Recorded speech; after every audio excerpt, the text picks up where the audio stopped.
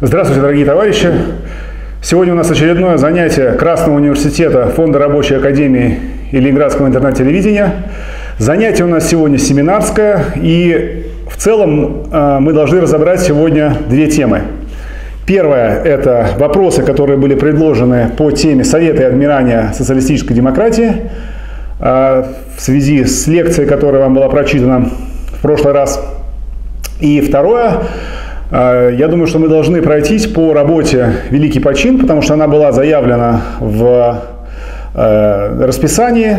Мы коротко поговорим об этой работе.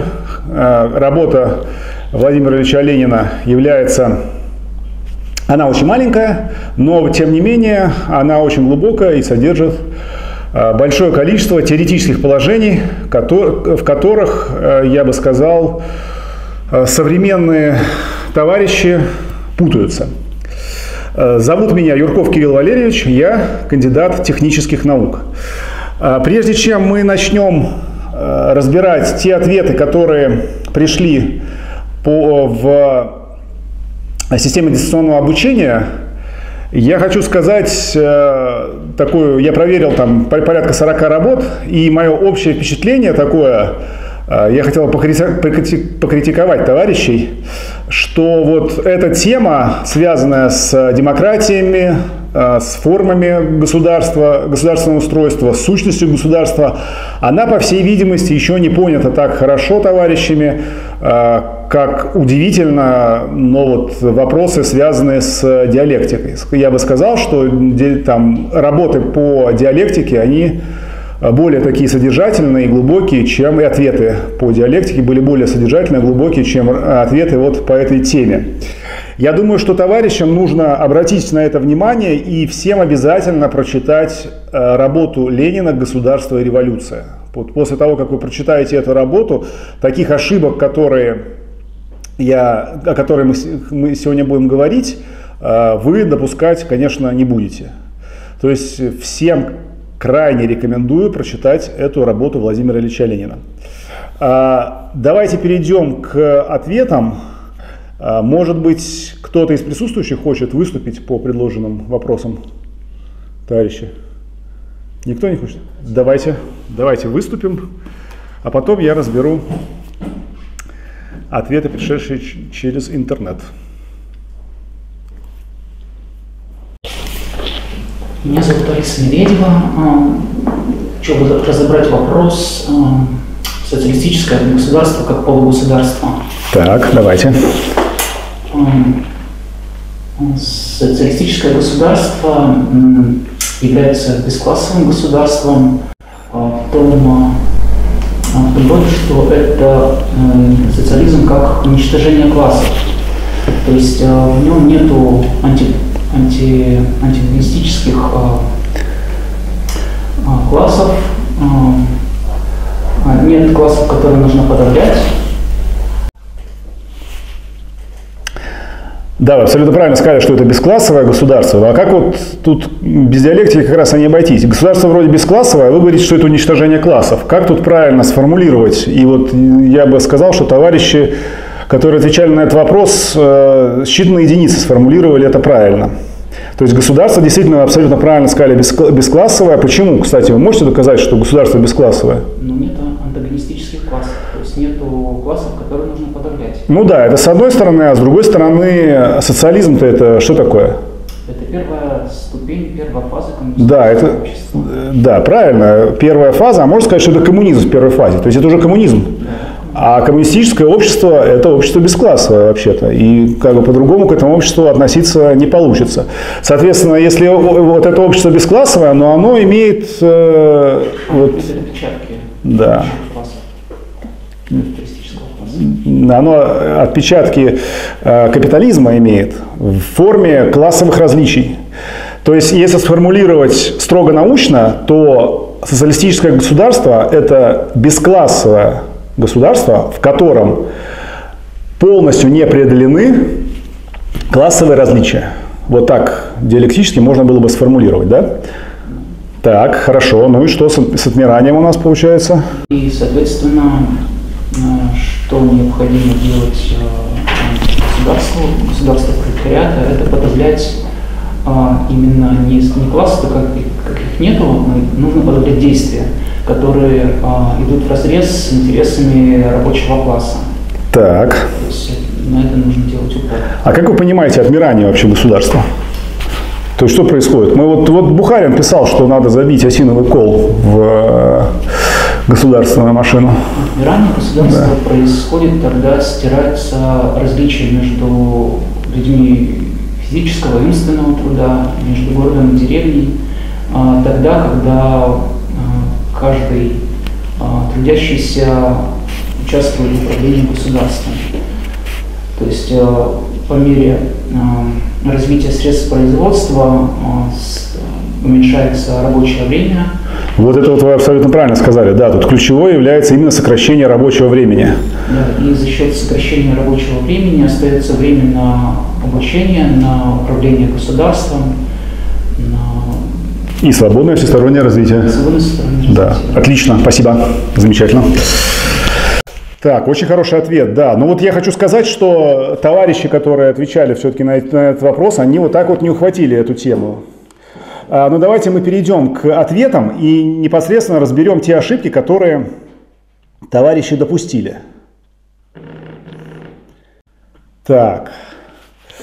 А, Абсалямов Никита Ирикович, город Магнитогорск. Отвечает Никита Ирикович на вопрос о демократии как форме государства и говорит, что это государство, где власть формируется путем выборов представителей от граждан. То есть это такое буржуазное понимание демократии. А о чем нас учат, чему нас учит Владимир Ильич в работе «Государство и революция», к которой как раз я в самом начале апеллировал. И это основное содержание вот ответа, должно быть ответа на этот вопрос – Э, оно заключается в том, что демократии вообще, демократии как таковой, просто демократии вот в вакууме ее не существует. Бывают демократии буржуазные, бывают демократии рабовладельческие, бывают демократии советские. То есть демократия – это форма государственного устройства. А сущность любого государства – это диктатура господствующего класса. То есть для того, чтобы говорить о демократии, нужно сначала определиться, какой класс господствует в данном государстве. То есть чье это государство, какого класса. И когда мы определили э, класс, который господствует в данный момент, то мы можем и говорить о, об одной из форм государственного устройства – демократии. А просто, еще раз повторяю, демократии вообще, демократии просто не существует. Так, а, социалистическое государство как полугосударство, отвечает Никита Ирикович на, такой, на этот вопрос и пишет. Социалистическое государство является полугосударством, так как оно представляет интересы большинства граждан, то есть осуществляет диктатуру в интересах большинства. Нет, оно не поэтому является полугосударством. Как мы вот только что разобрали, полугосударством оно является потому, что в нем нет антагонистических классов. То есть, выполняя ту функцию, которая, которая выполняет государство, то есть подавление э, класса эксплуатируемого, государство социалистическое подавляет все попытки э, вернуть общество, вернуть э, диктатуру буржуазии, то есть вернуть общество, повернуть общество вспять. То есть э, государство социалистическое занимается подавлением именно этих тенденций, которые на самом деле лежат в социалистическом обществе как родимые пятна этого социалистического общества, вышедшего из э, капитализма. При этом эти родимые пятна, они выражаются совершенно в разных вещах. Они выражаются в мелкобуржуазности, они выражаются в товарности, они выражаются в местничестве, они выражаются в бюрократизме и так далее. В тех же самых различиях между городом и деревней, различиях э, людьми физического и умственного труда. То есть государство социалистическое занимается тем, что оно подавляет эти негативные тенденции в, э, социалисти... э, в социалистическом обществе. И именно поэтому оно уже называется полугосударством. Так, Иван Сергеевич Аксиониди пишет, отвечает на вопрос номер 4. У нас вопрос социалистическая демократия как диктатура пролетариата.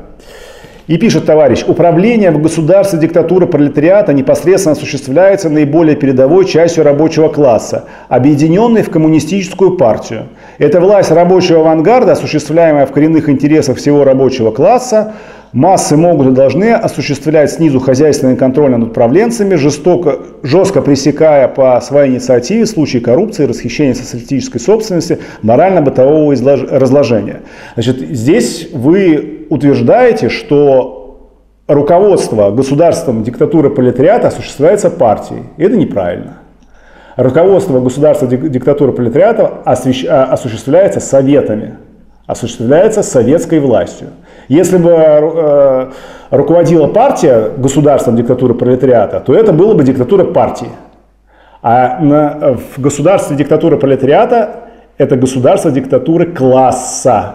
Соответственно, класс управляет государством, управляет он при помощи советов, при помощи органов, избираемых, территориальных органов, избираемых по заводам и фабрикам, а, а класс ой, извините, а партия это просто авангард класса. Ну, конечно, это как голова класса, которая э, выражает его интересы и э, показывает, куда классу нужно двигаться. А само непосредственное управление осуществляется государством, осуществляется через советы. Э, партия воздействует на советы через своих представителей в этих советах. То есть, если партия вдруг оторвалась от советов, и советы поплыли куда-то сами, сами собой, то партия потеряла какое бы то ни было влияние на данное, в данном государстве. Так, Александр Владимирович Алексеев. Исходя из классового устройства, товарищ отвечает на первый вопрос, исходя из классового устройства общества и того, что любое государство – это диктатура правящего класса, нельзя определять демократию как власть народа. Демократия является господством большинства правящего класса над меньшинством правящего класса. Как это так? То есть у вас демократия – это господство большинства правящего класса над меньшинством правящего класса. То есть правящий класс разделился на две части, у которых большинство и меньшинство, и одна часть господствует над другим. Это совершенно неправильное представление. А, еще раз, как я сказал, демократия – это форма государственного устройства, и эта форма государственного устройства зависит от того, э, чье господство, господство какого класса э, имеет место быть на лицо. Так, идем дальше. Антипов Иван Сергеевич. Демократия – это истинная власть большинства свободных граждан народа в рабовладельческом строе. Так вот, вы не, просто демократию определяете, это не демократия, это рабовладельческая демократия. Еще раз повторяю, не может быть демократии вообще. И вот демократия, э, как вы ее определяете, это рабовладельческая демократия. Раб в рабовладельческом обществе всего лишь говорящее орудие труда, не имеющее никаких прав, это правильно. Лишь только обязанность безвозмездно за еду трудиться на рабовладельца под страхом смерти. Рабовладельцы в силу своего общественного положения используют демократию как средство угнетения рабов, да, как свою диктатуру. Нет, не средство угнетения, они не, не, они не используют как свою диктатуру. Государство это и есть диктатура рабовладельцев. Государство рабовладельцев это и есть диктатура рабовладельцев. Она а, проявляется в форме рабовладельческой демократии. А, они обладают гражданскими избирательными правами, правами, обеспечивающими им возможность подавления угнетения рабов. Хорошо.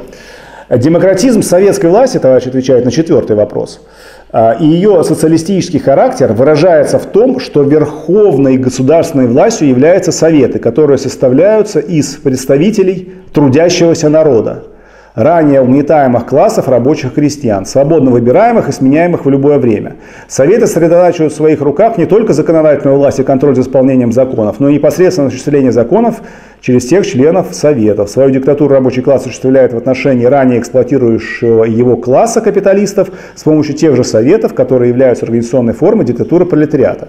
Значит, вы описываете Советы, но не говорите, что это такое по, по понятию.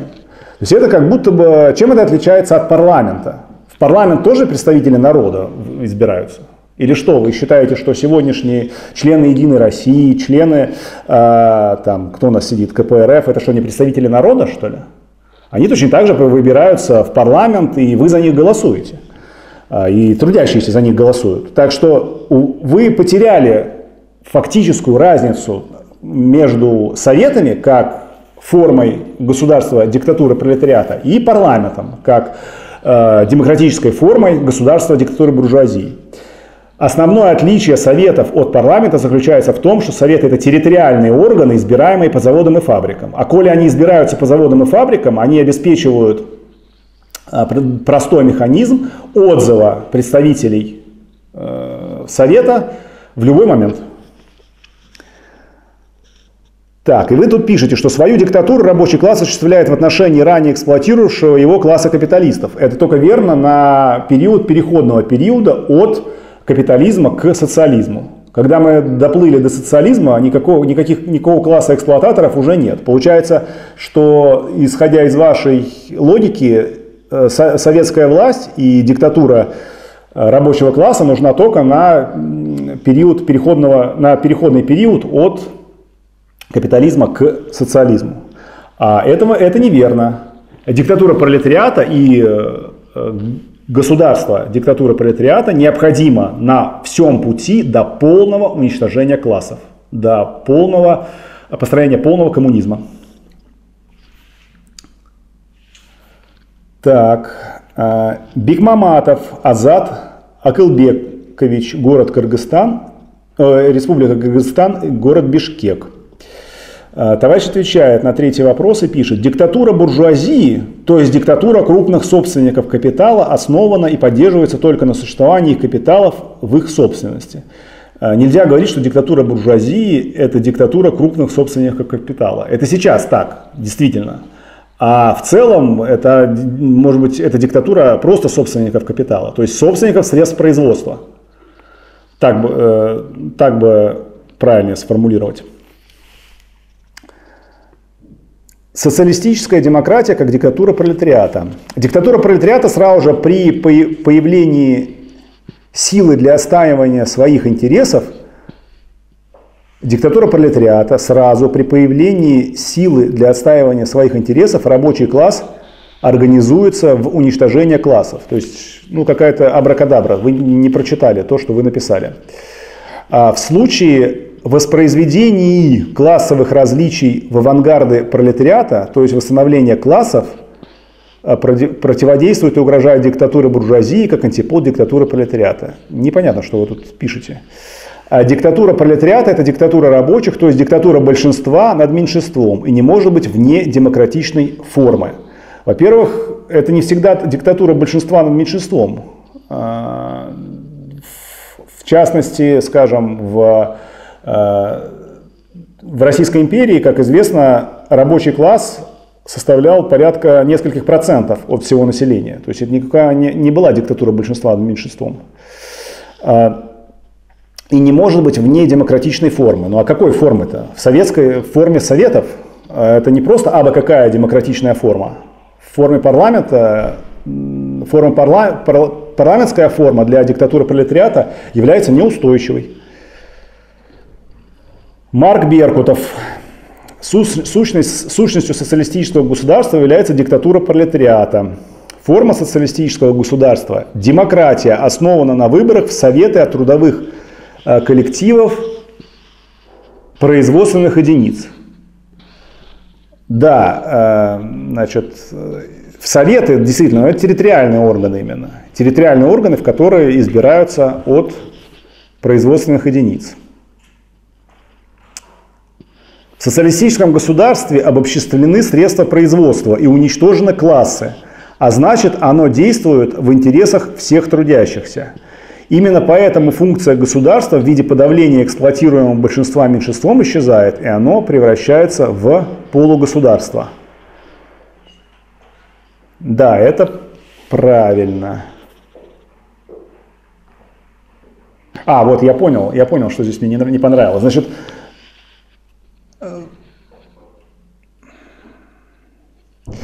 Да, вот вы здесь путаете социалистическое государство и построение социализма. в социалистическое государство появляется сразу же после, то есть когда пролетариат берет власть и а, устанавливает диктатуру пролетариата, сразу же а, появляется социалистическое государство, в котором еще не построен социализм. Поэтому в социалистическом государстве еще не обобщены средства производства вообще-то. Они обобщены только тогда, когда построен капитализм. И вы пишете, уничтожены классы. Нет, еще классы не уничтожены. Потому что, еще раз, в переходный период имеет место социалистическое государство, в котором не построен социализм. Сейчас таких государств достаточно много.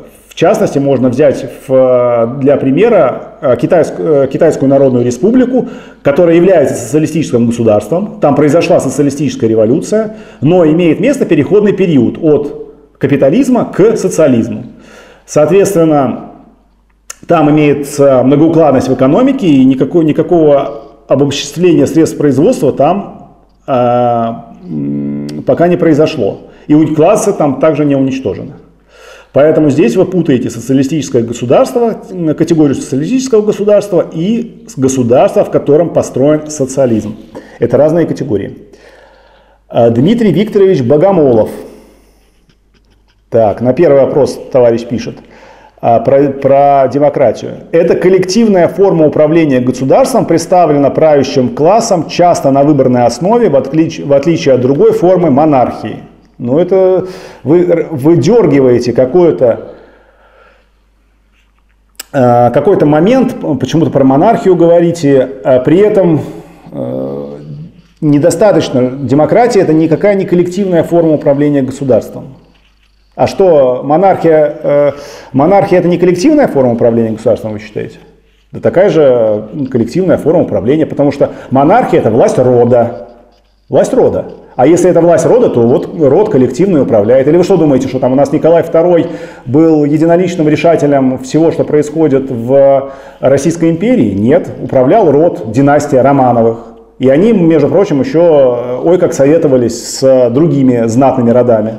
Так что э, в этом смысле имеет место, опять мы говорим о диктатуре правящего класса, господствующего класса, а не э, и это есть коллективная форма управления. Естественно, класс управляет э, государством. При буржуазной демократии, так, это ответ на третий вопрос теперь. Что у нас за третий вопрос? Буржуазная демократия как диктатура буржуазии. Так. Потерял. При буржуазной демократии функцию управления государством, эксплуатации и подавления других классов осуществляет класс буржуазии но осуществляя. Таким образом это происходит. То есть вы должны раскрыть, в какой форме это происходит. В форме э, именно буржуазной демократии, да? То есть это форма. А если это форма, то надо понять, как она устроена, эта форма. Устроена буржуазная демократия таким образом, что все граждане ходят и выбирают э, своих представителей в парламент. То есть они выбирают тех, кто будет представлять и подавлять их в парламенте следующие пять лет. Почему в, э, при буржуазной демократии при парламентаризме э, власть все равно остается в руках буржуазии. Потому что та форма, вот эта вот организационная форма господства буржуазии в качестве буржуазной демократии подразумевает, что выборы э, происходят по территориям. А если выборы происходят по территориям, то выбирают того, у кого больше денег. Если у меня больше денег на данной территории, у меня будет больше висеть баннеров на, э, в данных выборах. И вы будете знать про меня больше всего, всех. А ваши баннеры я за деньги сниму точно так же. Поэтому это имманентно присущая форма, вот парламентская, э, парламентаризм, имманентно присущая форма э, буржуазной э, государству диктатуры буржуазии. И это не случайно. Это самая устойчивая форма, как показала история, для буржуазного государства. Даниэль Эдуардовна Бранте. Демократия как форма государства, при которой политическая система и режим построены на принципах свободы и равенства, да, вот на принципах свободы и равенства. Все граждане обладают равными правами на власть. Этим демократия отличается от монархии, аристократии, от олигархии. У вас демократия в сферическом вакууме. То есть э, э, свобода, равенство и братство. Так вы говорите не о какой-то демократии, а о буржуазной демократии, потому что принципы свободы, равенства и братства – это э, принципы, которые были приколочены на щит бур, э, буржуазной революции. То есть вы говорите о, буржуа, о буржуазной демократии, а вы даете ответ, как будто бы вы говорите о демократии вообще. Все граждане обладают равными правами на власть. Да, все граждане обладают равными правами на власть. Вы можете сейчас пойти и избраться в э, Думу государственную российскую. Что-то вы не сделали этого еще. Почему вы не реализуете все, ваши, ваши равные права на власть?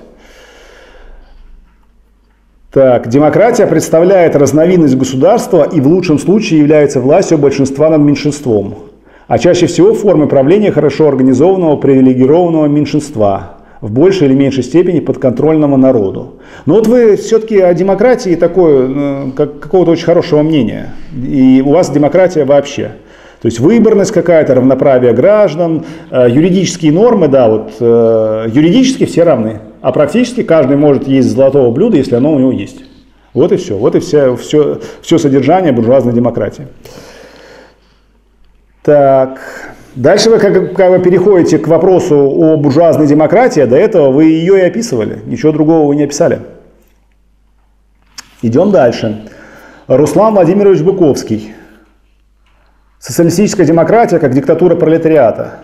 Социалистическая демократия как диктатура пролетариата является сущностью социалистического государства. Здравствуйте, приплыли. А, социалистическая демократия, оказывается, является сущностью социалистического государства. Э, нет, так не пойдет. Социалистическая демократия – это форма государства, а сущность – это диктатура господствующего класса. То есть диктатура пролетариата – это сущность социалистического государства, а, социали... а проявляет она себя в форме социалистической демократии, в форме советской власти. То есть, как мы говорили, вот соотношение сущности и скажем, явление, да, то есть вот то, что внутри это господство класса, а снаружи это проявляется в форме, ну, такой форме советов. Но все в любом случае, то, что проявляется на, на, на поверхности явлений, да, в форме, оно обеспечивает э, то, что находится в сущности. Антон Михайлович Войтович – Демократия как форма государства характеризуется тем, что высшие органы являются выборными и выбираются правящим классом. Ну и вот у вас опять демократия вообще. Надо говорить о конкретных, о демократии конкретных, конкретные рассматривать э, формы демократии, потому что они отличаются друг от друга. Так, Алексей Михайлович Доровский, Доровской, извините. А, буржуазная демократия как диктатура буржуазии. Значит, буржуазная демократия – это форма государства, диктатура буржуазии, правильно. Основные классы, антагонисты при такой форме государства – это капиталисты и рабочие. Капиталисты имеют власть за счет присвоения себе средств производства и всех СМИ. То есть ничего себе, вы приравняли средства производства и средства массовой информации. Как-то они у вас оказались на одной полке положены. А, тот, кто владеет средствами производства, автоматически владеет, владеет средствами массовой информации. Для вас, может быть, это будет новость, а, но главное в том, что капиталисты владеют средствами производства. А то, что они владеют средствами массовой информации, это всего лишь э, вытекает из того, что они владеют средствами производства. Поэтому нельзя так приравнивать средства, масс... средства производства и все СМИ. Да без СМИ можно обойтись.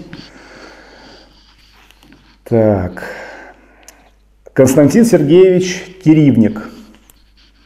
Демократия как форма государства является законной властью большинства народа.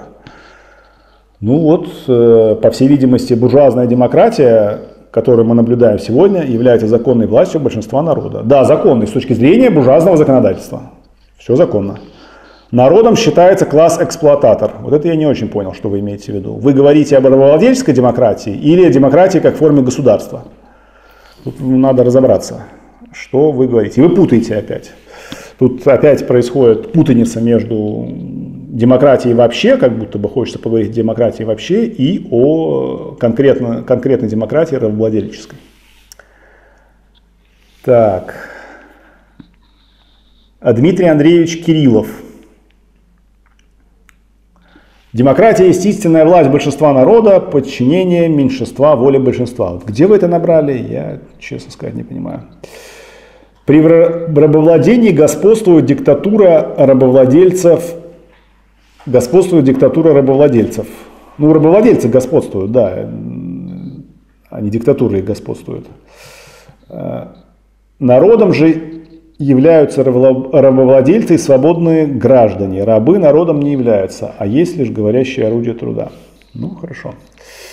Э, Кобельков Александр Эдуардович, город Дзержинск.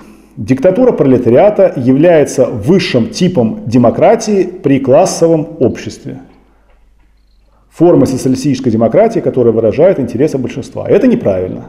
Потому что, как мы уже и сказали, диктатура пролетариата, она проявляет себя в различные периоды развития общества.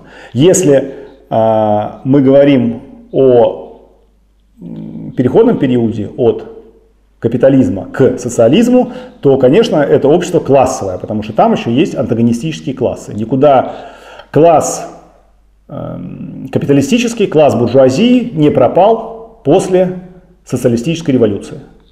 Поэтому, когда вы пишете, что диктатура пролетариата является высшим типом демократии при классовом обществе, вы сужаете диктатуру пролетариата только на переходный период от капитализма к социализму. Потому что при социализме социализм классовым обществом не является. Значит, вы говорите о том, что при социализме э, диктатуры пролетариата уже нету. И это неверно. Это абсолютно неправильное понимание э, того, до какого момента диктатура пролетариата должна действовать. Она должна действовать до полного уничтожения классов, до полного построения, э, э, до построения полного коммунизма. Так, социалистическая демократия отображает отношение нового социалистического строя, исключающего эксплуатацию человека человеком. Но это вот такая елейная картинка какая-то, которая не раскрывает понятия самого, что такое социалистическая демократия. А социалистическая демократия – это советская власть, власть в форме советов. И для того, чтобы раскрыть этот вопрос, вам надо было раскрыть то, что, а то о чем мы уже здесь сегодня говорили, каким образом э, и как советы отличаются от парламента.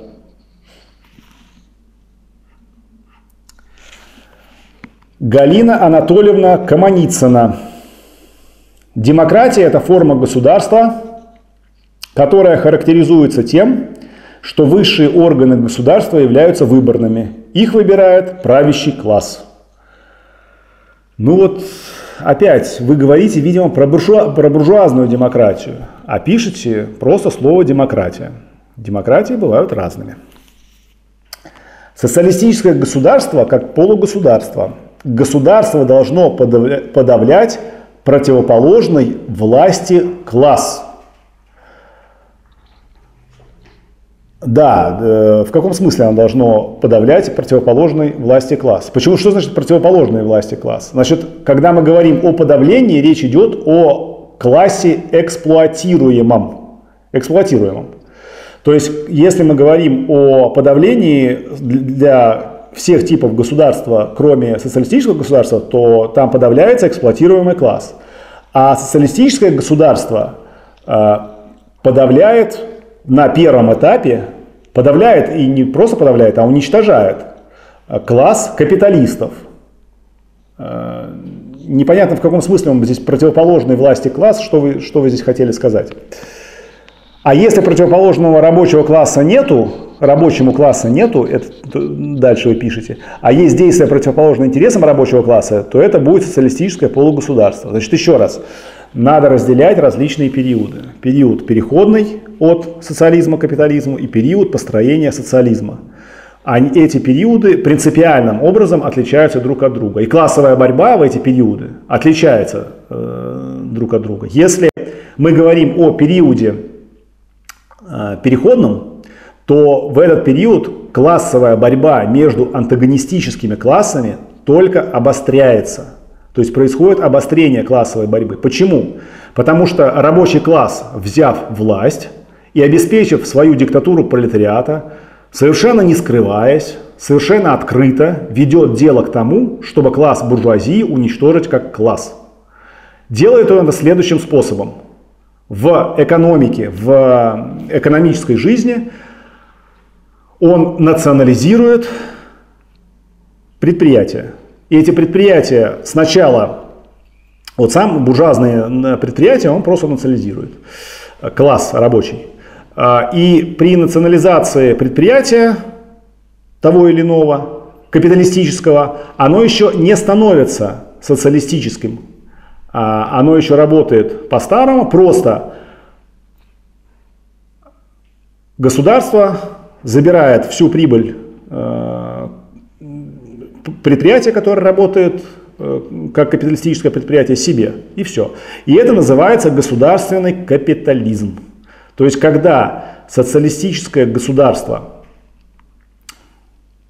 обобществила и фактически э, значит, сделала своей собственностью капиталистическое предприятие, мы имеем дело с таким сектором, который, сектором экономики, который называется государственный капитализм.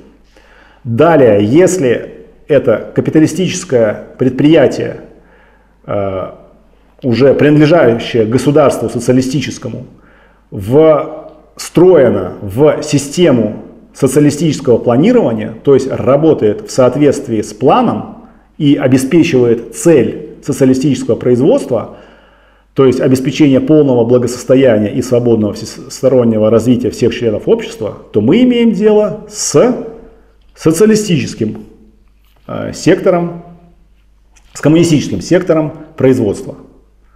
Вот э, таким образом а, я описываю то, как, как э, социалистическое государство потихоньку абсолютно экономическими методами уничтожает капиталистический сектор производства.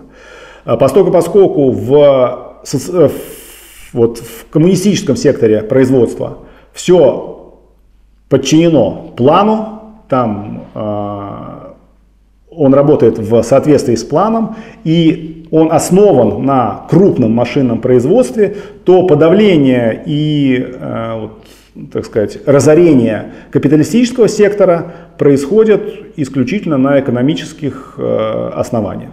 То есть непосредственно капиталисты, они экономически не могут э, победить коммунисти коммунистический сектор производства. Мы об этом как раз будем говорить в связи с работой «Великий почин». Так вот, таким образом, возвращаясь к классовой борьбе в этот период, э, значит, рабочий класс и дикта... государство диктатуры пролетариата совершенно не скрывает, что вот таким вот способом э, это государство хочет уничтожить класс капиталистов. Соответственно, капиталисты это видят и это прекрасно знают. Ну и, соответственно, если они это видят и прекрасно знают, то их борьба только ожесточается в этот период. Они действуют все, как будто бы это их последний день. Это их действительно последний день, возможно. И они э, при, применяют самые ожесточенные формы классовой борьбы против государства диктатуры пролетариата. Поэтому на этот период, на переходный период между социализмом и капитализмом, классовая борьба обостряется. А дальше с построением социализма классовая борьба приобретает новые формы. Поскольку, поскольку антагонистических классов уже нету, есть, как мы сказали, те самые родимые пятна, проявляющиеся в различных формах. И эти родимые пятна, их не уничтожают, их преодолевают. Потому что эти родимые пятна в чем? Они в социализме в самом. Они не нечто чуждое социализму. Они в самом социализме находятся, и как бы э, уничтожить их не представляется возможным. Их можно именно преодолеть. То есть если у вас там э, болит рука, то вы не берете и не отрубаете себе руку, уничтожая таким образом эту боль. Нет, вы начинаете ее преодолевать. Или какие-то негативные тенденции в себе, вы не стреляете себе в голову из-за того, что вы, у вас есть какие-то негативные тенденции. Вы занимаетесь тем, что эти негативные тенденции в самом себе преодолеваете. И в этом смысле происходит преодоление, например, бюрократизма. То есть не а, вопрос заключается не в том, чтобы уничтожить всех бюрократов. Это невозможно. А по тому, как ставит э, решение этого вопроса Владимир Ильич Ленин, все должны стать на какое-то время бюрократами, а соответственно, таки, соответственно таким образом бюрократизм может быть преодолен. Вот, значит, э, это к вопросу о том, каким образом идет классовая борьба в государстве диктатуре, диктатуры пролетариата на разных его этапах исторического развития. Так, а, идем дальше. Мария Александровна Каманицына, сейчас мы это, значит, может быть, мы это уже разобрали. Диктатура пролетариата должна привести к уничтожению классов, к созданию бесклассового общества, к созданию социализма, неразвитого, неполного коммунизма. Так, и что? А потом диктатура пролетариата, по всей видимости, должна а, умереть, да? То есть, а потом она уже не нужна. Нет, не так. Диктатура пролетариата, еще раз. И это принципиальная ошибка, которую делал, которую, которая была сделана и в Советском Союзе, а, ну, даже не так. В Советском Союзе диктатура пролетариата при социализме существовала, это потом уже появилось так называемое общенародное государство, когда диктатура пролетариата, мол, уже не нужна. Вот, вот скоро уже построится полный коммунизм, как нам э, заявлял гражданин Хрущев. Точнее, он не говорил про полный коммунизм, он говорил про спелый социализм. Но вот он поспел, э, и как э, плод дерева упал и стух. Вот, поэтому диктатура пролетариата нужна на всем пути до полного уничтожения классов. Нельзя сказать, что она нужна только для построения социализма. Это неправильно. неправильно. А, и это противоречит марксистской э, науке и марксистскому пониманию того, каким образом должно действовать государство диктатура пролетариата. Так, Михаил Дмитриевич Кузнецов – Социалистическое государство как полугосударство. Социализм есть первая фаза коммунизма, но социализм также еще сохраняет родимые пятна старого общества капитализма, из которого оно вышло. Коммунизм характеризуется полным отсутствием государства, в то время как при капитализме планета поделена на зоны влияния буржуазии в виде стран. И это вы пишете совершенно неправильные вещи. Почему? Первое. Коммунизм характеризуется полным отсутствием государства. Это неправильно. Мы уже тут разобрали, что социализм есть коммунизм в первой фазе. То есть коммунизм, его нужно рассматривать как общество, которое развивается на, своем собственном, на своей собственной основе и имеет две фазы. Первая фаза – это не полный, не развитый коммунизм, но это тоже коммунизм.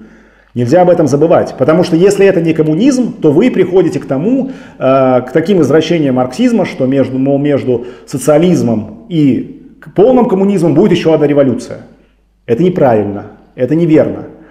Верное понимание это то, то что коммунизм и социализм и есть коммунизм в первой фазе, неполный, неразвитый коммунизм, который развивается на своей собственной основе. Соответственно, никаких революций уже быть не должно. Он должен просто развиться на своей собственной основе. Соответственно, э, коммунизм не характеризуется полным отсутствием государств. Не характеризуется. Коммунизм характеризуется тем, что на первом этапе э, строительства коммунизма при социализме э, наличествует государство диктатуры пролетариата. В то время как при капитализме планета поделена на зоны влияния буржуазии в виде стран. И это неправильно, потому что на зоны влияния, вот если мы рассматриваем период империализма, сегодняшний период, когда период, когда начали, начал, на, начались э, эпоха всемирных пролетарских революций, то есть череды революций, революций и контрреволюций в отдельных странах, уже нельзя сказать, что все, э, все э, значит, как вы пишете, вся планета поделена на зоны влияния буржуазии.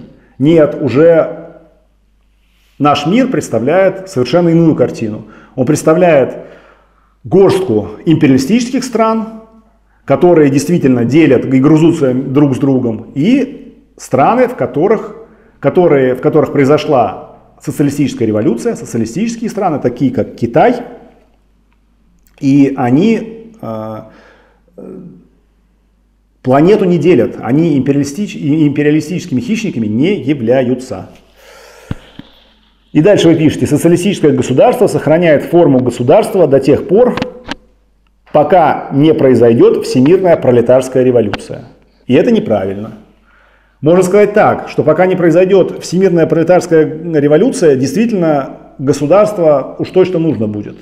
И это вы можете найти в, скажем, работах Иосифа Виссарионовича Сталина, он это обосновывает. Но обоснование это достаточно простое. Пока всемирная революция пролетарская не произошла, то есть пока во всех странах не произошла э, социалистическая революция, действительно в, в данной конкретной стране государство необходимо.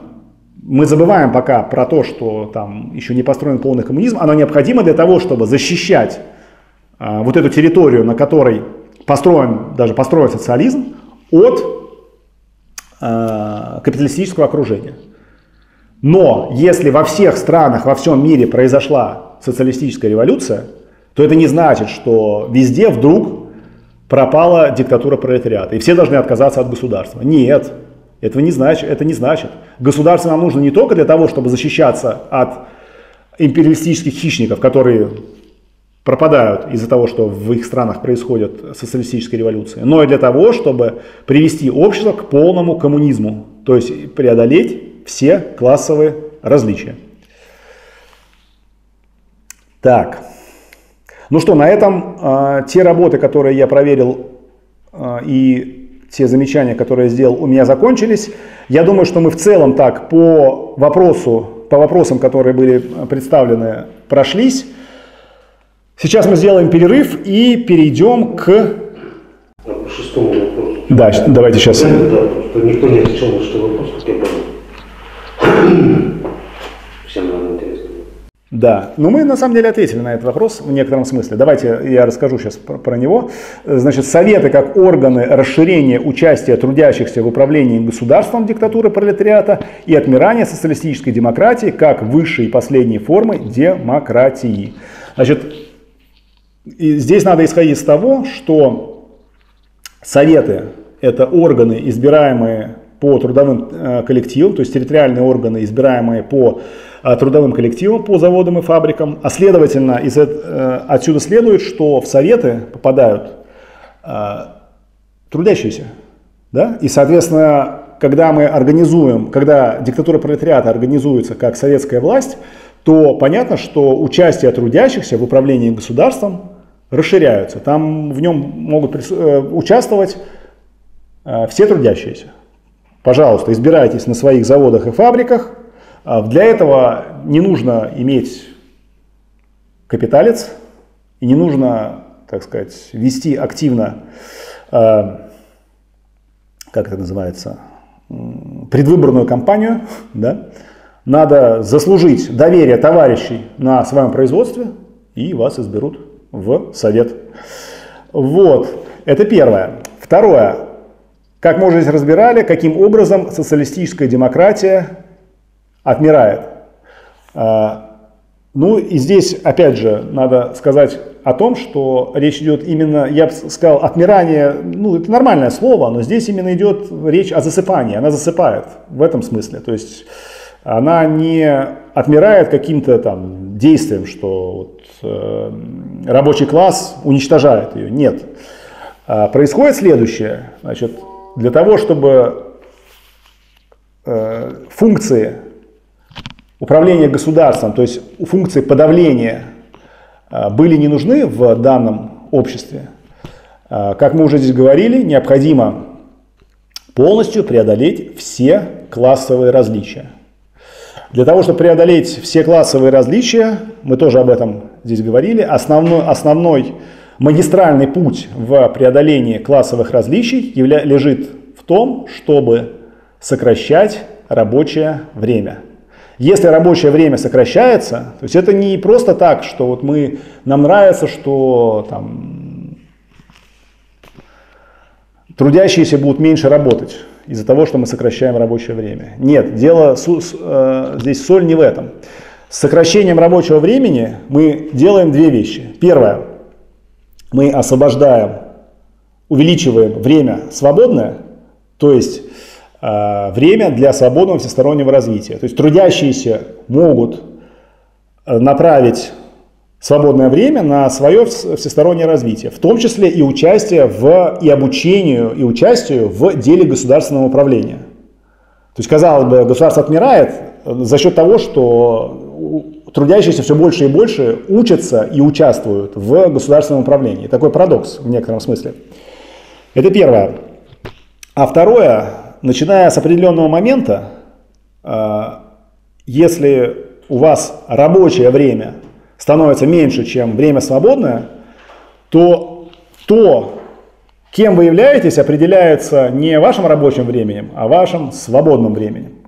Соответственно, здесь уже происходит, именно вот здесь, в этом месте происходит э, преодоление вот этого различия, скажем, между людьми физического и умственного труда. Если вы, скажем, три часа занимаетесь непосредственно материальным трудом, производительным трудом, а 5 часов вы занимаетесь игрой на скрипке, то кто вы, рабочий или скрипач? Рабочий. Нет, вы скрипач уже. Скрипач, конечно, но все равно останется. Да, вы не... Можно тогда вот задать вопрос? Я Михаил Васильевич пытался, но он такой быстрый, что не очень получилось в прошлый раз.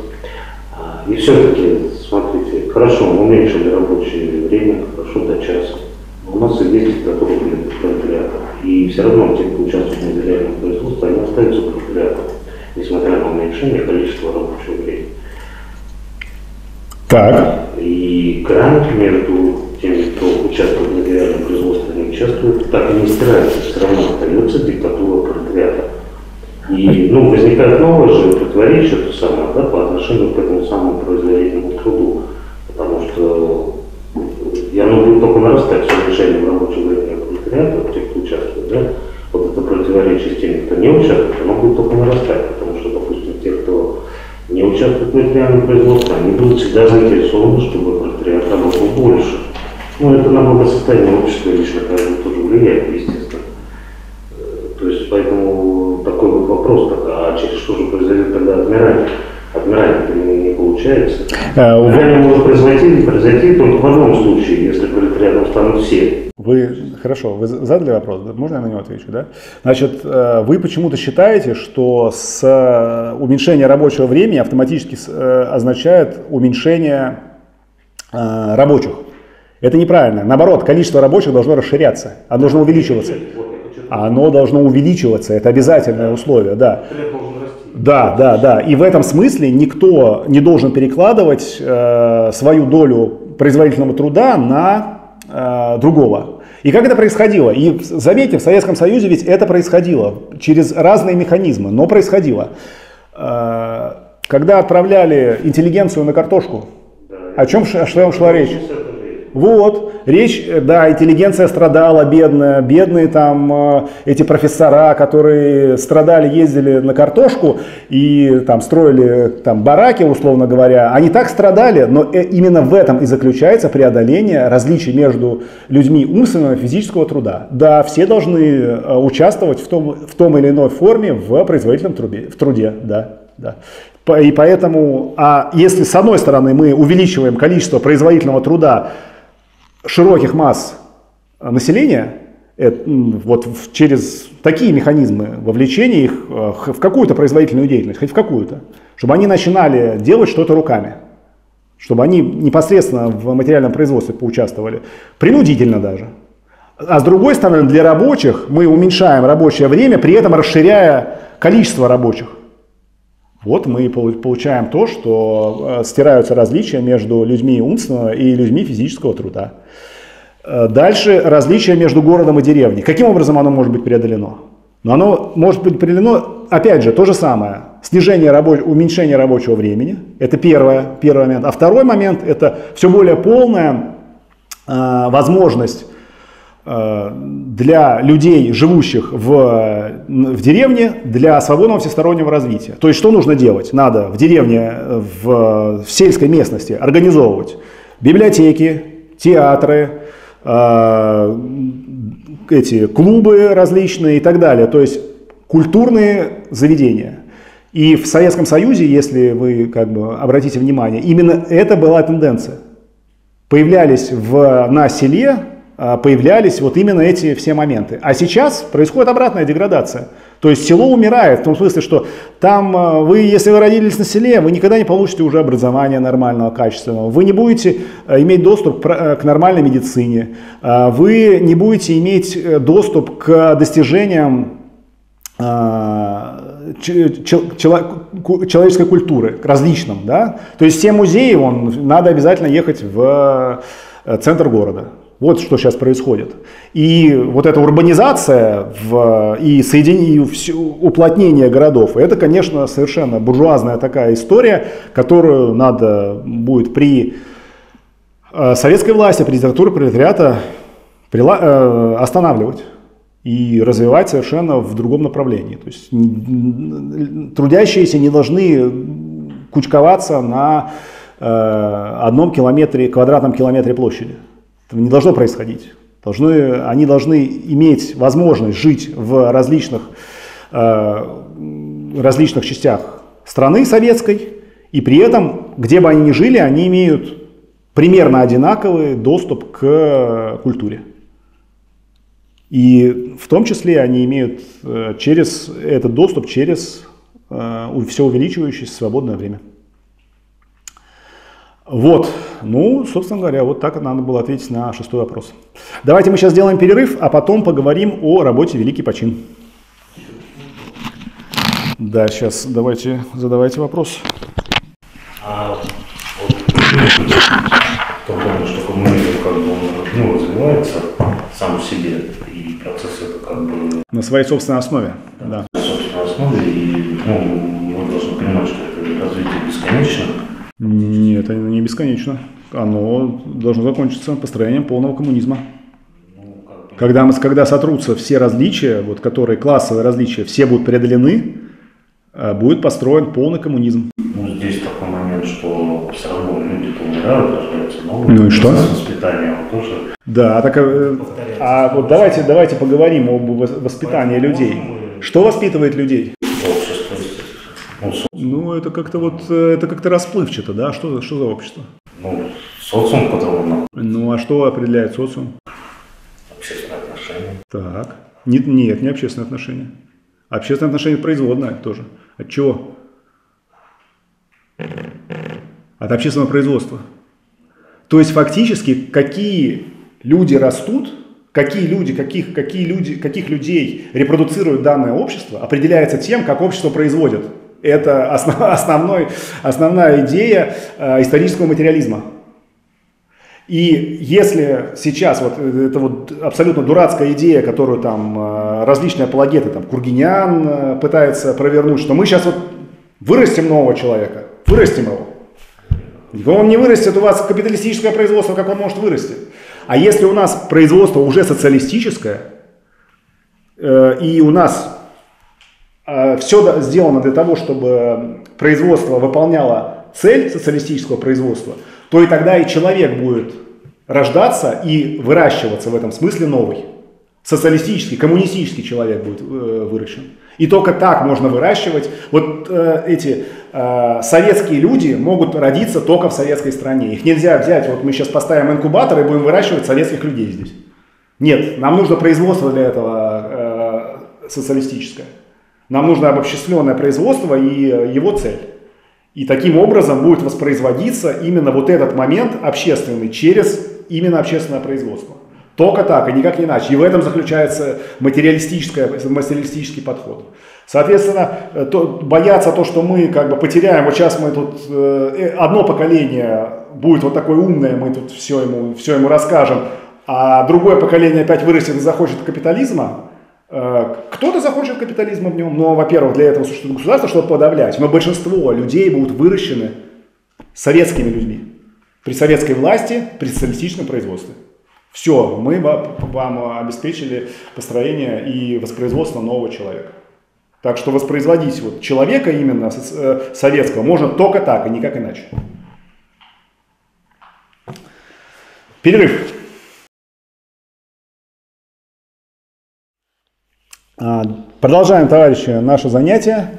И на очереди нам нужно рассмотреть э, ну сколько мы успеем, работу Владимира Ильича Ленина «Великий почин».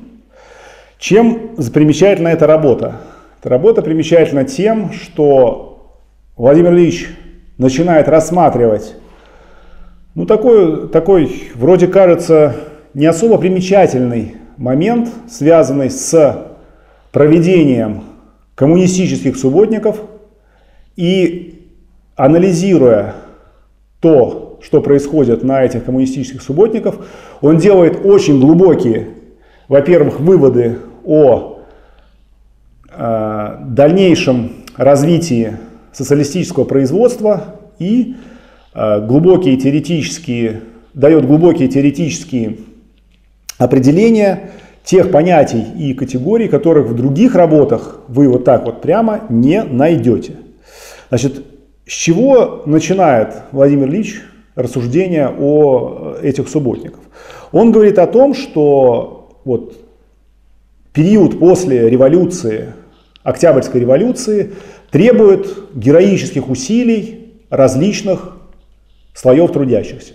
И понятное дело, что э, трудящиеся, которые воюют на фронтах гражданской войны, они рискуют жизнью, они э, проявляют героизм, но Владимир Ильич Ленин обращает внимание на героизм рабочих в тылу.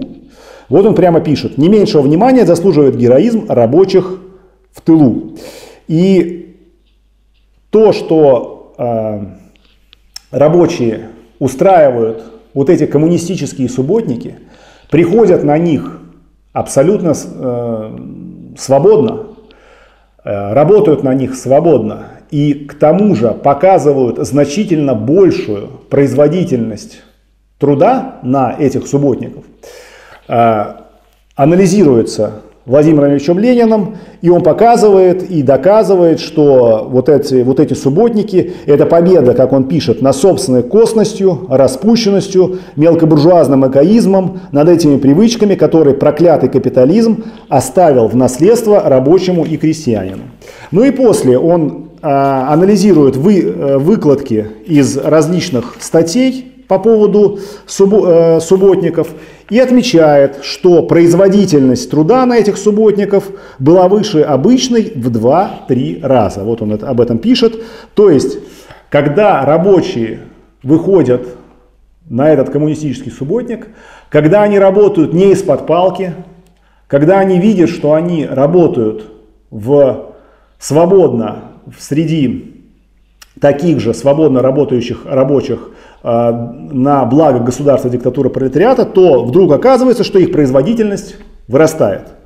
И из этого прямо можно сделать вывод, который полностью разбивает э, елейную буржуазную сказку о том, что человек способен работать исключительно из-под палки, то есть э, есть два мотиватора для работы человека, а то, о чем нам рассказывают буржуазные деятельности, деятели. Первое – это наказание, то есть его мотивируют тем, что если он не будет работать, до свидания за порог э, фабрики и подыхать с голоду. Это первый мотиватор, который знает э, буржуазная наука и капиталисты. И второй мотиватор – это дать больше денег – то есть мы даем больше денег, увеличиваем там зарплату, и от этого становится, э, становится человек становится, э, э, начинает лучше и больше работать. Так вот, Владимир Ильич показывает, что вот, это, вот этот зародыш, на самом деле это социалистическое соревнование в зародыше, дает такие, э, такое увеличение производительности труда, которое капиталисты никаким, никаким образом обеспечить не могут. То есть они могут обеспечить там, э, развитием средств производства, но так, чтобы сами трудящиеся увеличивали свою производительность в 2-3 раза, производительность труда, это возможно только при социалистическом соревновании. Это первое. Второе. Э, когда Ленин анализирует, а кто же способен к такому, в некотором смысле, ну, к, такому, к, к таким героическим поступкам, к такому самопожертвованию, он отмечает, что это не, э, не только Э, это не, к этому способны не любые трудящиеся. Э, вот он пишет, эта новая дисциплина, он имеет в виду рабо- трудовая дисциплина, не с неба сваливается и не из добреньких пожеланий рождается. Она вырастает из материальных условий крупного капиталистического производства, только из них. То есть он э, видит вот в этом, э, в этом явлении не какие-то субъективные моменты, а он видит, что это явление вырастает из материальных условий. То есть стоит на абсолютно материально, материальных позициях. А носителем этих материальных условий и проводником их является определенный исторический класс, созданный, организованный, сплоченный, обученный, просвещенный, закаленный крупным капитализмом. Этот класс – пролетариат. И, что, и тут же здесь он раскрывает, что такое диктатура пролетариата. И здесь что важно? Здесь важно то, что... Э, давайте мы немножко забежим вперед. Сейчас. Да, вот дальше. Полагать, что все трудящиеся, а, отмечаю, все трудящиеся одинаково способны на эту работу было пустейшей фразой, иллюзией допотопного до марксовского социалиста. Ибо эта способность не дана сама собой, а вырастает исторически и только из материальных условий крупного капиталистического производства. Этой способностью обладает в начале пути от капитализма к социализму только пролетариат. Но в каком смысле? Что он здесь понимает под пролетариатом? И вот он пишет, и это как раз то определение диктатуры пролетариата, которые, э, от которых многих граждан, которые пытаются записать в рабочий класс и в пролетариат всех подряд, э, начинает корежить. И у них э, колики по этому поводу возникают. Диктатура пролетариата, если перевести это латинское научное, научное историко-философское выражение на более простой язык, означает вот что. Только определенный класс, именно городские и вообще фабрично-заводские промышленные рабочие в состоянии руководить всей массой трудящихся и эксплуатируемых в борьбе со свержением гигакапитала, в ходе самого свержения, в борьбе за удержание и укрепление победы, в деле созидания нового социалистического общественного строя, во всей борьбе за полное уничтожение классов. Вот Владимир Ильич разъясняет, что когда он говорит про особый класс, и называет его здесь пролетариат, он говорит о городских фабрично-заводских рабочих. Зачем нужна именно такая классификация э, здесь? Ведь можно записать, классифицировать общество можно на самом деле по-разному. И в э, различные классы записывать разные группы. Но Владимиру Ильичу здесь э, важно, чтобы из этой классификации, во-первых, она была материалистической, то есть э, основывалась на каких-то материалистических предпосылках, а второе, а второе, именно из этой классификации можно было сделать какие-то общественные выводы, то есть увидеть, как общество развивается, по каким законам и что является основной, основной движущей э, материальной силой в этом обществе. И вот когда он эту материальную силу выводит, он говорит об городских и вообще, вообще фабрично-заводских а, промышленных рабочих. И заметьте, что эти городские, э, вообще фабрично-заводские промышленные рабочие в состоянии руководить всей массой трудящихся и эксплуатируемых в борьбе за свержение иго капитала. То есть за свержение иго капитала, в свержении иго, иго капитала, конечно, участвуют все трудящиеся. Конечно, участвуют программисты, конечно, участвуют э, парикмахеры, конечно, участвуют продавцы, конечно, участвуют другие, э, другие трудящиеся. Но руководит и возглавляет всю эту массу массой э, городской, фабрично-заводской пролетариат.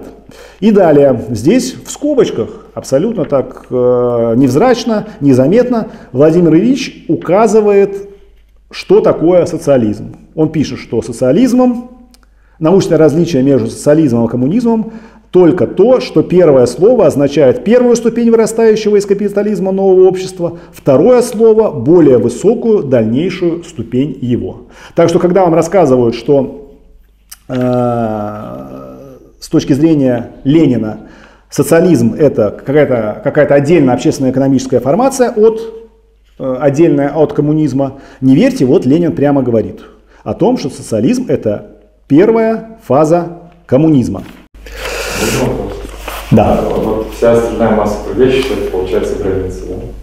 Да, если мы говорим о классификации, то есть вот о, о том, как мы классифицируем общество и э, зачем мы это делаем, Да, действительно, вы правы. То есть наша задача не, не а, не заключается в том, чтобы разрезать вот так общество на какие-то э, классы и указать, что вот этот вот обязательно вот в этому классу принадлежит. Нет, наша задача сделать такую классификацию, которая позволит нам сделать определенные выводы, первое, э, и определить, куда, как это общество будет развиваться в дальнейшем. А второе, классификацию мы это делаем диалектическую. То есть, когда мы говорим о двух классах, это два нечто, между которыми есть определенность, которая соединяет их и разъединяет.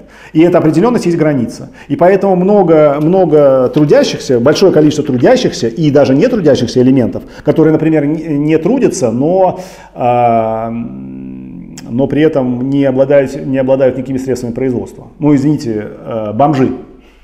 Они не трудятся, но и средствами производства не обладают. Они принадлежат границе. Ну и пусть принадлежат, как бы в этом нет никакого противоречия. И даже ничего, ничего страшного, если э, э этой границе принадлежит э, ну, достаточно большое число э, граждан. В этом нет ничего страшного. Наша задача заключается, как я уже сказал, в том, чтобы сделать такую классификацию, из которой можно сделать правильные выводы. Так. И вот здесь, да, мы уже об этом как раз говорили сегодня, я об этом это подчеркивал. А, Ленин пишет, диктатура пролетариата есть тоже период классовой борьбы, которая неизбежна, пока не уничтожены классы. Заметьте, диктатура пролетариата необходима до полного уничтожения классов. Это прямо написано. Поэтому те, кто говорят, что диктатура пролетариата не нужна, не нужна э, после построения социализма, они прямо идут против ленинизма, который является наиболее современным марксизмом. То есть это антимарксисты, по, по сути. А, значит, которая неизбежна, пока не уничтожены классы, и которая меняет свои формы, становясь первое время после свержения капитала особенно ожесточенной и особенно своеобразной. Мы это сегодня разбирали, я как раз это показывал, почему так происходит. Завоевав политическую власть, пролетариат не прекращает классовой борьбы, а продолжает ее в впредь до уничтожения классов, но, разумеется, в иной обстановке, в иной форме, иными средствами. Мы об этом с вами сегодня говорили, что формы классовой борьбы меняются в различии, в различные, э, на различных стадиях развития э, общества. Так. Да, вот и дальше здесь все связано с тем, что мы с вами э, уже обсуждали. А каким образом уничтожается класс капиталистов как класс? Вот Ленин пишет. Ясно, что для полного уничтожения классов надо не только свергнуть эксплуататоров, помещиков и капиталистов, не только отменить их собственность, надо отменить еще и всякую собственность на средства производства. Надо уничтожить как различия между городом и деревней, так и различия между людьми физического и умственного труда. Это дело очень долгое. То есть вот Ленин прямо показывает, что, во-первых, э, нужно отменить не только собственность тех капиталистов, которые сейчас имеют место быть, но и отменить вообще всю частную собственность. И, кстати говоря, э, это, э, этот вот э, подход и это теоретическое положение вбивает гвоздь в крышку гроба тех граждан, которые предлагают строить социализм на отдельно взятом предприятии. Понятно, что этого не, сделать нельзя. Еще раз, нужно отменить всю, отменить частную собственность нынешних капиталистов и отменить всю частную собственность. Тогда можно э, говорить о э, построении коммунизма. Так, идем дальше. Вот какие задачи должен решать пролетариат для э, упрочнения и, создания, и построения социализма.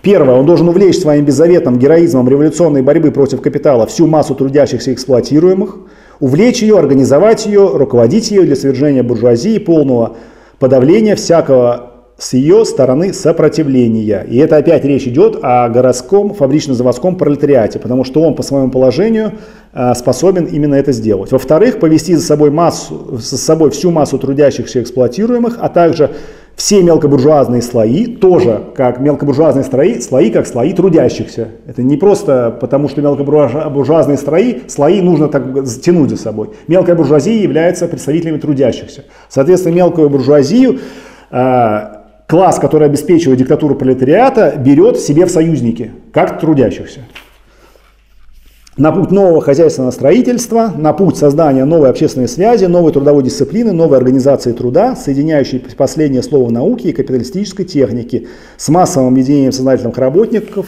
трудящихся, творящих крупное социалистическое производство. Основой социалистического производства является крупная, крупная промышленность. Да, и вот дальше интересно, а как, а, как в этом во всем действии будет принимать участие интеллигенция?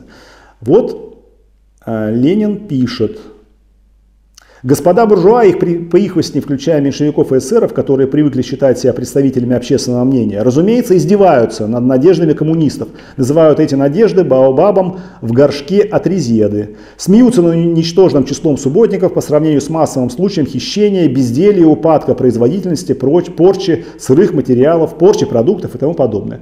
То есть капиталисты, и вы, мы это все еще будем проходить много-много раз, капиталисты и их халуи в виде буржуазной интеллигенции будут все время говорить, что все плохо, да вы посмотрите, социализм невозможен, там вот, вот по поводу этих субботников, э, тут их два субботника прошло, что вы нам рассказываете, все эти большевики разворовали, полная разруха и так далее, и так далее. Мы ответим этим господам, если бы буржуазная интеллигенция принесла свои знания на, на помощь трудящимся, а не русским и заграничным капиталистам ради восстановления их власти, то переворот шел бы быстрее и более мирно. Но это утопия, ибо вопрос решается борьбой классов, а большинство интеллигенции тянет к буржуазии. Вот какое положение уготовленной интеллигенции.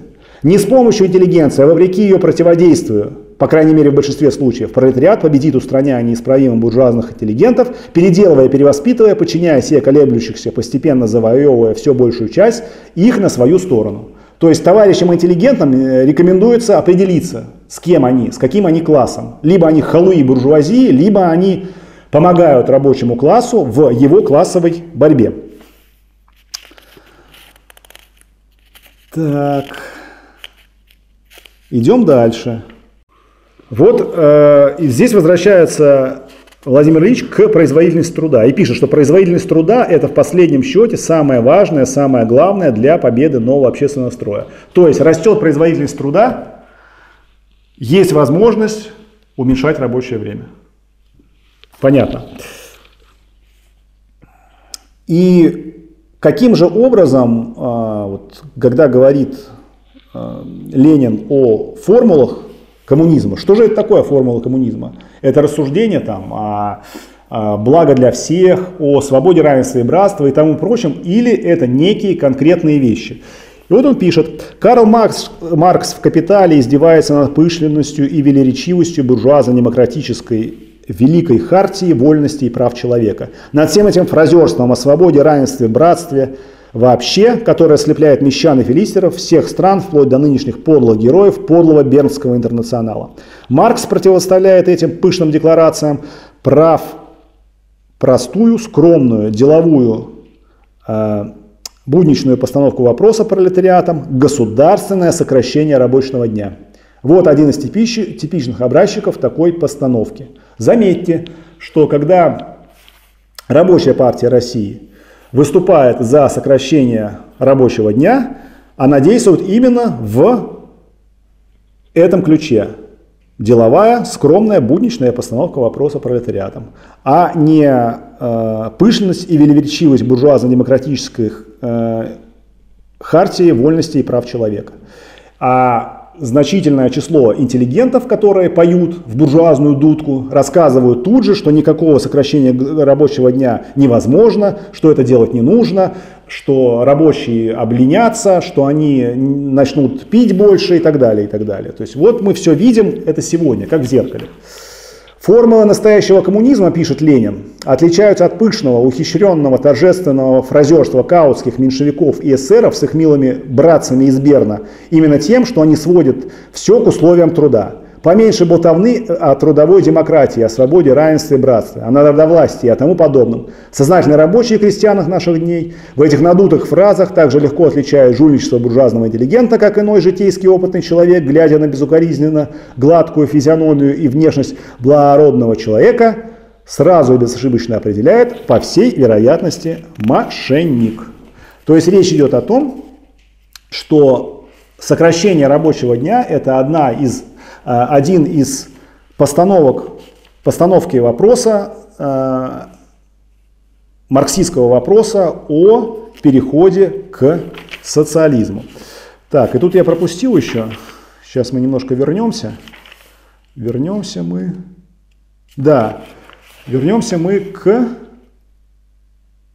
классам. Да? Когда Ленин говорит о классах, а, если вы посмотрите работы, скажем, Маркса, Энгельса, там определения классов нету. А вот в этой работе Ленин дает определение классов, о, которых, о котором а, многие забывают и пытаются его Э, переиначить различным способом. Классами называются большие, большие группы людей, различающиеся по их месту в исторически определенной системе общественного производства, по их отношению, большей э, частью закрепленному и оформленному в законах, к средствам производства, по их роли в общественной организации труда, следовательно, по способам получения и размерам той доли общественного богатства, которой они располагают. Классы – это такие группы людей, из которых одна может себе присваивать труд другой, благодаря различию их места в определенном укладе общественного хозяйства. Ну и последнее, на чем останавливается Владимир Ильич в этой работе, это на положении и вопросе об освобождении э, женщин.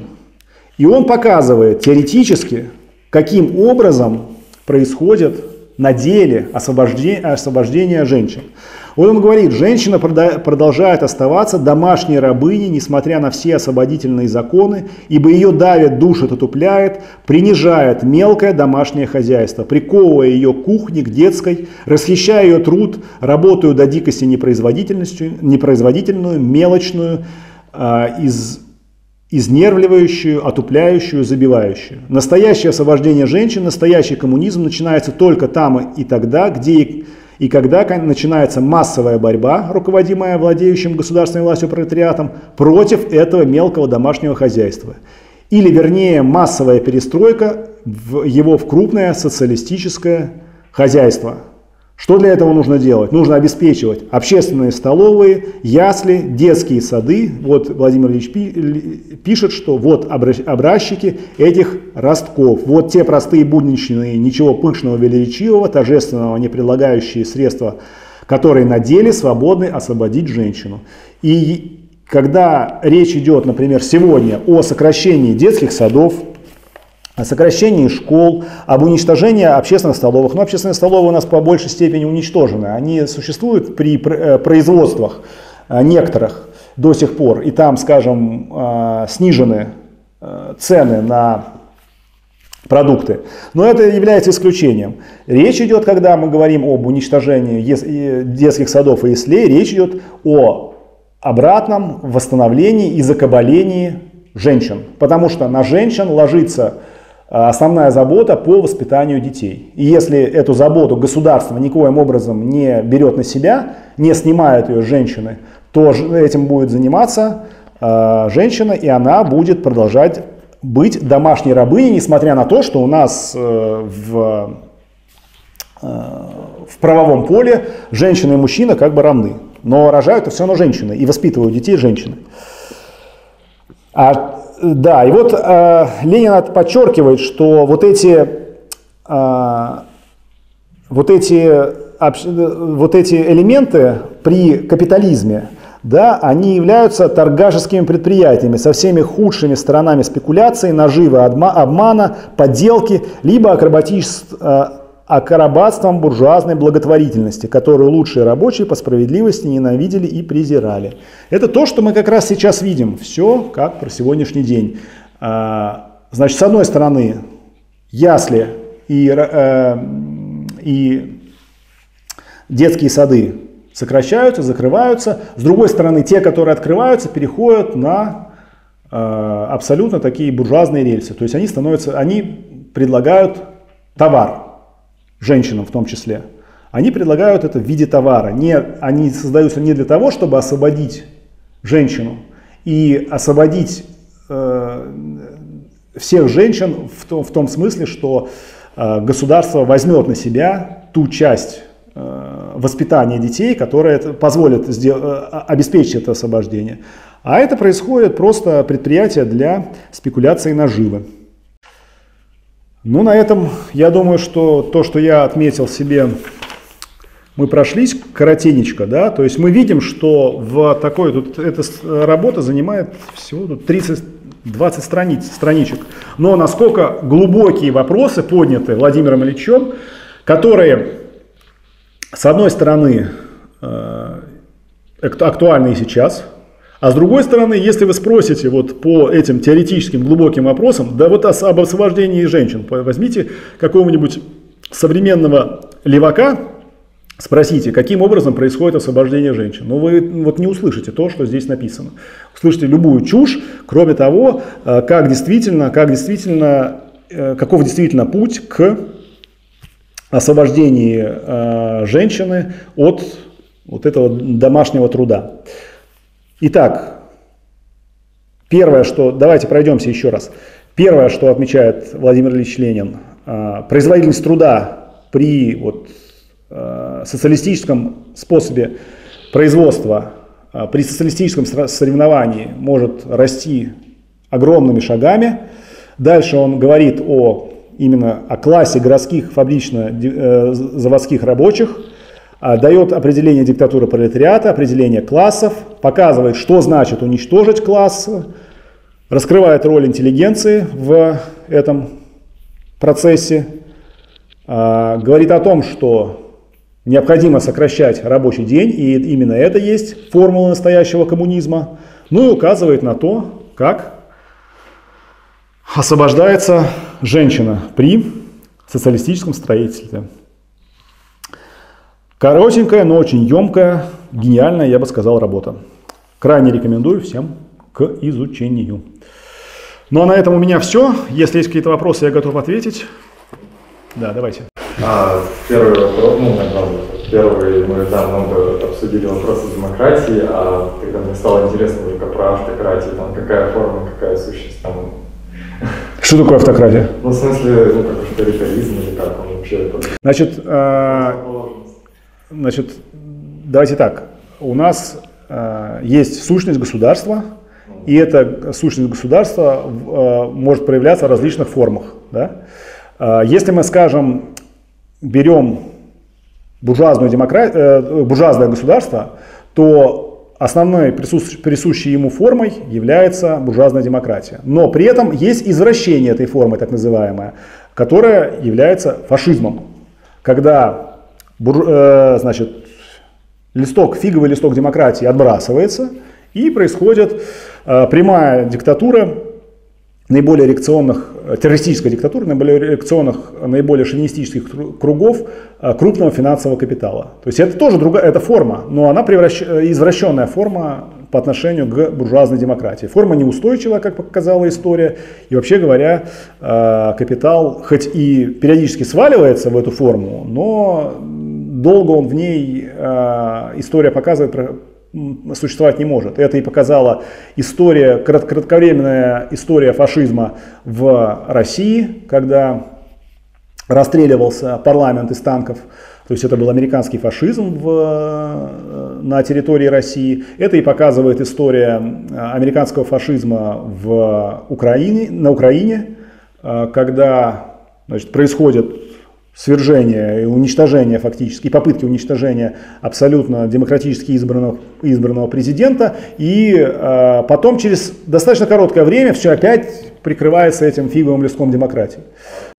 Вот абсолютная монархия. Значит, теперь давайте вернемся к, монар к, к монархии. Вы хотите все про монархию. Значит, когда мы говорим про монархию, это форма, которая относится к феодальному государству, к диктатуре класса феодалов. И э, исторически так получилось, что наиболее ну, известными формами феодальных государств является монархия, это власть, как я уже сказал, одного рода, или аристократия, это власть нескольких родов. Ну да, нет, я просто хотел уточнить, что когда там в монархии, в могут быть такие же задвиги, как с фашизмом, что предельно концентрирован. Смотрите, выдумать можно все что угодно, а э, значит нужно смотреть на исторические ну, примеры. Да. Исторических примеров таких не, э, я не знаю. Вот я хотел уточнить, что он есть. Я исторических примеров таких не знаю. И даже там, где кажется, что вот монарх, он является единоличным там э, руководителем и все определяет, это не так совершенно. Все равно это власть рода, монархия это власть рода, э, его там задушили подушкой завтра и поставили следующего, следующего наследника в этом роду именно. Так что никакого, никакой абсолютной власти конкретного человека нету. Все равно власть у класса. Ну, да. Он ее осуществляет в форме ну, вот того, что он сказал. Вот выделили мы этот род, пускай они там обеспечивают наши интересы и э, спокойно правят. Мы будем, так сказать, э, это делать вид, что они помазанники э, Божии. Да, если брать это фашизм и не фашизм, то как в сущности одна это диктатура, получается, капитализма, просто... Диктатура буржуазии, не капитализма, а буржуазии. Капитализм это способ производства.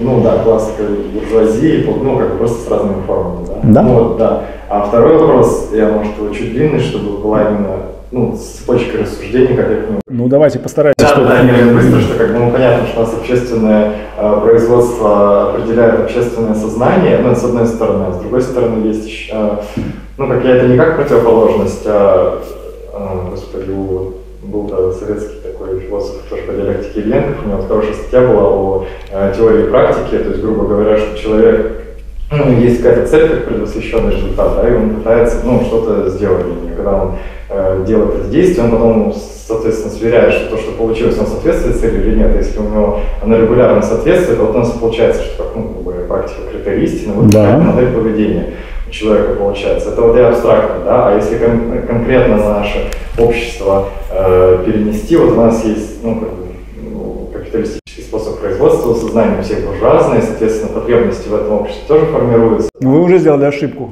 а. сказав то, что сознание у всех буржуазное. Вот я считаю, что у меня ну, не буржуазное сознание.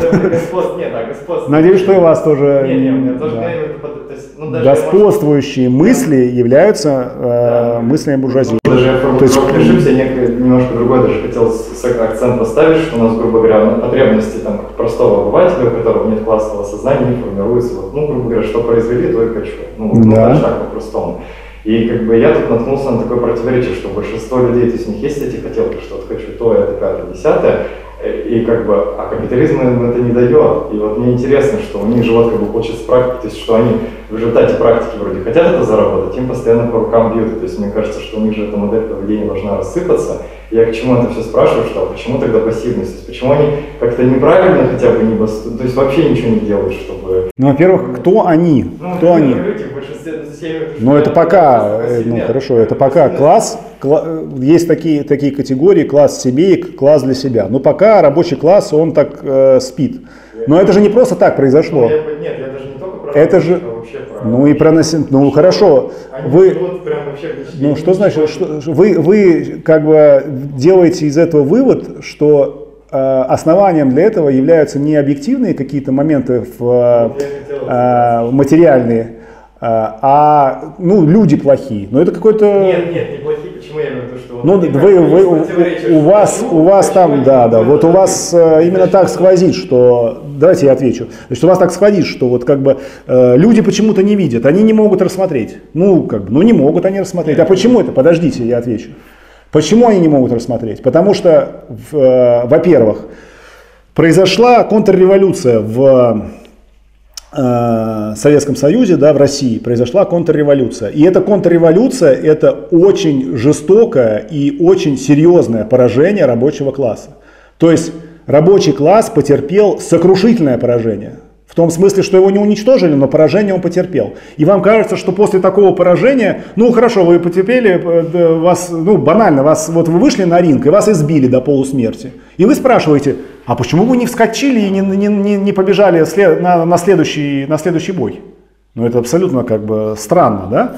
Речь идет о том, что историческая реальность такова, что вот 90-е и начало 2000-х в, в сознании народа еще происходит э, вот то, что отражается в нем, э, вот это вот поражение, контрреволюционное поражение.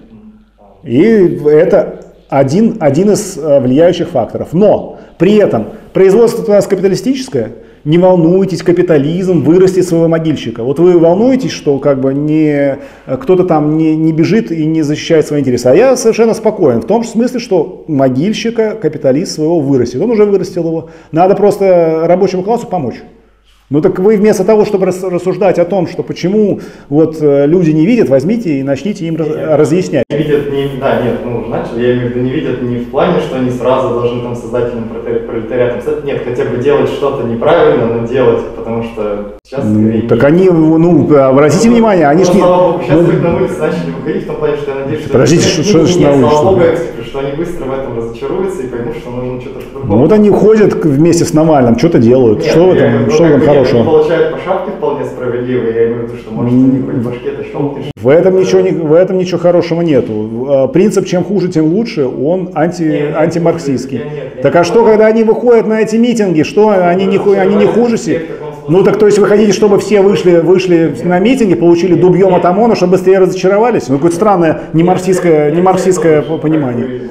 Значит, и что? И что они вот эти марксисты сидят, и мы как бы ограничимся только марксистами? Нет, мы именно пропагандируем, именно для того, чтобы граждане не ходили туда. Не ходили туда, а что они занимались борьбой за свои ближайшие интересы. Мы именно этим занимаемся. Не да-да-да, вы говорите совершенно противоположно. Вы говорите, хорошо, что они туда пошли и дубьем получили. Так, все, ладно, на вопрос я ответил. Давайте следующий вопрос. Я хочу уточнить вот по поводу пролетариата. То есть, то есть это рабочие, которые занимаются материальным производством. Правильно?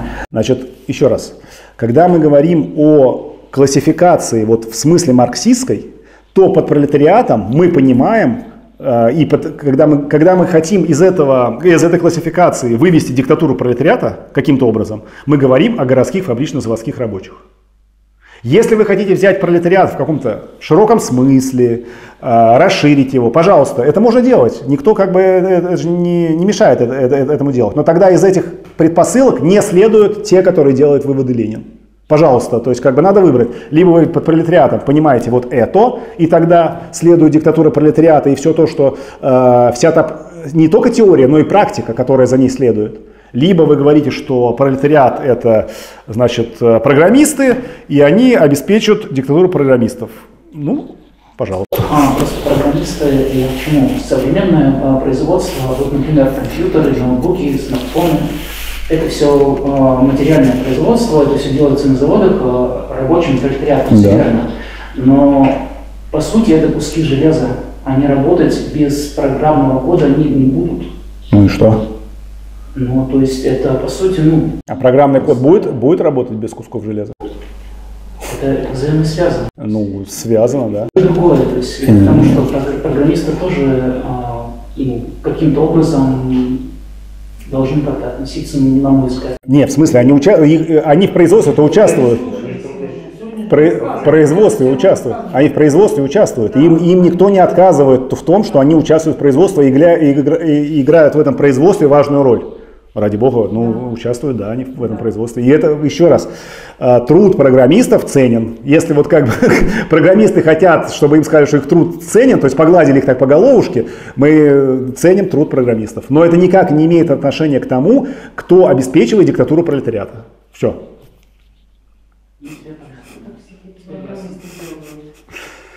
Вопрос. Какова роль религии в современной классовой борьбе в России? Значит, э, роль религии, она такая же, как и много лет назад. Религия сегодня это опиум народа. То есть а, это, ну как Ленин говорит, я уж так и буду говорить, извините, товарищи, это идеологическая сиуха, которая поет а, трудящихся для того, чтобы они забылись от этого, от ужасов этого мира, чтобы они забыли, в чем заключаются ужасы этого мира. Причем, заметьте, тут двойственный, двойственный момент. То есть нельзя так говорить, что вот кто-то извне пришел и начал э, поить этой сивухой. Нет, трудящиеся сами, не видя выхода в, в реальности, они, им хочется эту сивуху. Это нельзя сказать, что их, им вот как бы заливают ее, и они э, вот не хотят ее потреблять. Они хотят, потому что жизнь, а, буржуа, э, капиталистическая жизнь, она ужасна в целом. Посмотрите, какие ужасы творятся в капиталистическом мире. Э, это немыслимые люди там, голодают, умирают с голода тогда, когда человечество уже дошло до, до того этапа, когда оно может легко всех накормить. Вообще, чтобы не было никаких голодающих никогда больше. То есть мы развили уже средства производства до этого момента.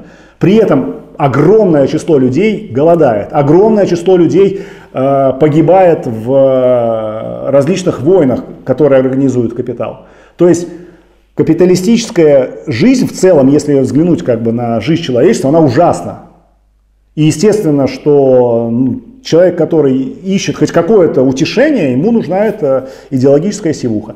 При этом, опять же, если мы возвращаемся немножко назад к э, эпохам буржуазной революции, да, то есть вот эта идеологическая сивуха, она э, использовалась активно, на, на, когда э, общество развивалось феодальное, да, когда было, было господство класса феодалов. Вот тогда, так сказать, это было естественным, есте, естественным отправлением вот этой э, нужды и поиска в чего-то э, ну, более светлого, хоть там на небесах. А когда буржуазия приходит к власти, она сметает ведь вообще церковь, она сметает религию, от, отказывается от нее, э, разбивает религию. Посмотрите, что происходило во времена французской революции. То есть э, религия просто отрицалась всячески э, буржуазными, буржуазными революционерами. Но проходит время, по сути дела, э, буржуазное производство, оно также приносит неисчислимые страдания, как и феодальное э, людям в целом, человечеству. Это вот такой, такой этап развития человечества, когда человечество страдает. И опять эта сивуха нужна. Ну вот она появляется. И эту роль она сегодня играет. Э, с одной стороны, а с другой стороны, это ну, приобретает новые формы. Это, естественно, просто э, капиталистическое предприятие, из которого там, ну, вот эти попы, там у них шапки красивые, золотые, то есть у них майбахи, там они хорошо живут, хорошо, э, сытно едят, судя по их виду. Видели попов? Они хорошо кушают, потому что так, ну, не пухнут с голода граждане явно. То есть это становится и средством извлечения, присвоения себе прибавочной стоимости. Ну, такая, такой двойственный, э, двойственный симбиоз, и, соответственно, капиталисты используют э, религию для своих целей, ну, и религия живет как э, бизнес-проект. Вот так, такую форму а, она сейчас принимает. Но и когда, естественно, а, речь идет, если речь идет о том, как преодолевать это религиозное религиозный дурман, то, конечно, речь идет не о, не о том, чтобы там, запрещать что-то, а, там, убеждать активно граждан в том, что это все, что не а, человек сотворен как а, по образу Божьему, а Бог сотворен по образу человеческому, самим человеком. Вот. Э, этого разъяснять всего не надо. Это разъяснит корни религии, они лежат в материальном производстве опять. Поменяется материальное производство, будут основания для того, чтобы религия также а, исчезла и отмерла. Так что с религией особенно бороться не надо. А распространение наркотиков да? Точность? Э, ну, э, опять двойственную роль играет. С одной... Как раз ну, тоже, да, не сбывшиеся надежды. коррелирует то, что я спрашивал. Не сбывшиеся надежды. Ну, здесь немножко, немножко другое, потому что э, все-таки наркотик это некое, некое средство, которое подавляет э, волю к э, тому, чтобы остановиться его принимать. Это все-таки немножко другое. Оно имеет и физиологические зависимости, и психологические зависимости. То есть здесь все значительно более сложнее. Оно действует на уровне как бы, непосредственно химического строения организма. Так что здесь давайте мы так не будем прям все в одну кучу сваливать. Это... Да. Можно ли отнести военнослужащих, занимающихся производственным трудом, к рабочим? Они же иногда строят мосты, госпитали и так далее, дачи, наверное. Или это все-таки служащие? Ну, как бы к, э, э, это такая случайная форма, да, когда они строят мосты, они являются рабочими, безусловно. Что, что, что, что, что здесь такого? Ну вот в этот момент они там являются э, работниками производительными, то есть они меняют непосредственно материальный мир. Но, во-первых, это делается, происходит не систематически, а во-вторых, опять же, как мы как бы с вами говорим, нас э, основ, э, теми, тем классом который способен обеспечивать диктатуру пролетариата является городской фабрично-заводской пролетариат. Поэтому других рабочих, они являются там рабочими мимолетно, а, случайно, но они вот не могут вести всю массу трудящихся к полной победе коммунизма. Могут ли построившие, построй, построившие, могут ли построившие в стране социализм государства по отношению к соседним капстранам вести себя как нынешние капстраны, для США экономически, военно и так далее, делая зависимым? они не только могут, они, у них ничего ни другого не остается вести себя экономически именно по отношению к капиталистическим странам, как, э, ну, как э, по-капиталистически.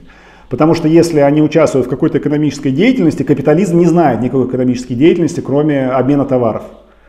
Поэтому вне э, социалистическое государство действует как крупный капиталист. Это объективная реальность, но от этого никуда не уйти. И что? Ничему это не противоречит.